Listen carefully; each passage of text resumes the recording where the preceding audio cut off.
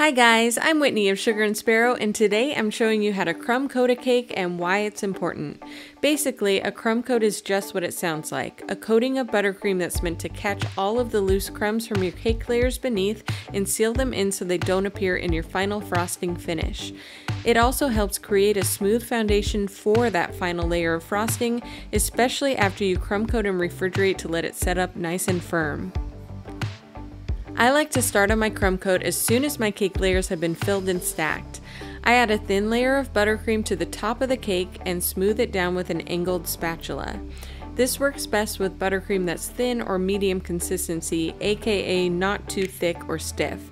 So if you find that adding the buttercream is ripping the cake as you smooth it down, you'll want to put it back in your stand mixer and add a few more teaspoons of room temperature liquid like milk or whatever binding liquid your buttercream recipe calls for.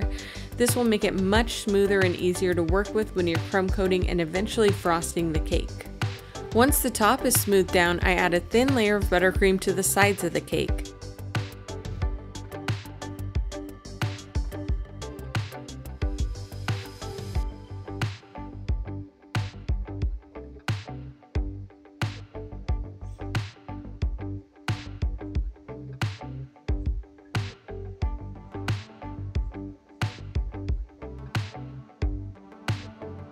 When they're covered entirely, I take an icing smoother and go around the cake to smooth the sides and remove as much excess buttercream as possible without tearing into the cake.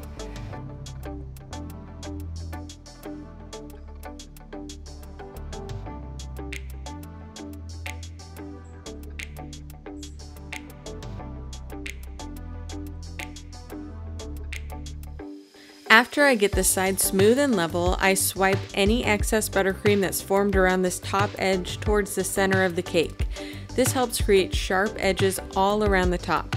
The purpose of the crumb coat is to trap those extra crumbs in the thin layer of buttercream, but also to shape the cake's foundation.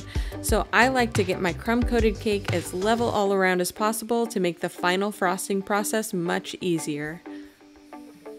When I'm happy with the crumb coat, I place the cake in the refrigerator for about 20 to 30 minutes to firm up before I continue decorating. Chilling the cake really seals in those crumbs and it's so much easier to frost a smooth buttercream finish on a cake that's been chilled versus one that has the layers shifting underneath since they're not quite as set. It makes a world of difference and if you haven't tried it, I hope you give it a shot next time you decorate a cake. If you want to follow along with this Cake Basics series and all of the other fun cake videos I release, be sure to hit the subscribe button so you never miss a new one. You can also head to my blog at sugarandsparrow.com for all of my favorite recipes, baking tips, cake decorating tutorials, and so much more. Thanks for watching!